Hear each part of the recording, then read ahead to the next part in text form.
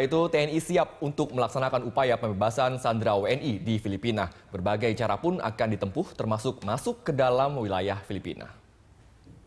Pemerintah Filipina telah mengizinkan TNI untuk melakukan pengejaran terhadap kelompok teroris.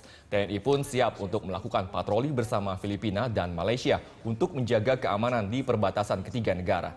Panglima TNI Jenderal Gatot Nurmantio menganggap kelompok Abu Sayyaf sudah melewati batas karena hanya WNI yang merupakan objek sandera mereka.